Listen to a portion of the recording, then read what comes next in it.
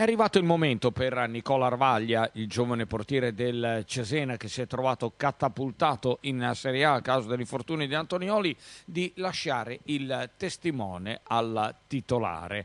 Torna Francesco Antonioli, ma per Nicola Ravaglia c'è tempo per ricordare l'esperienza delle sue cinque partite in Serie A.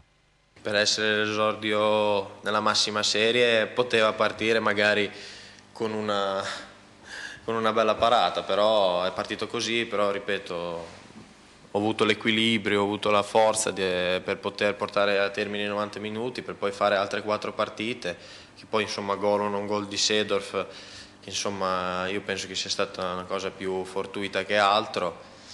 Eh, però io sono soddisfatto perché comunque ho fatto 5 gare, le prime 5 gare bene, visto i compagni di squadra che mi hanno sempre aiutato, incitato, però comunque anche nei loro occhi vedevo ogni partita che passava sempre più a sicurezza anche nei miei riguardi.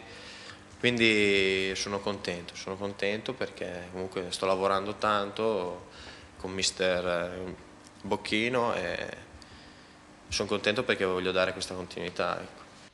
E poi il momento migliore per Nicola è stata la sua partita contro la Lazio? Ma sicuramente la partita con la Lazio è stato forse dove sono andato meglio, ecco, con uh, un paio di interventi.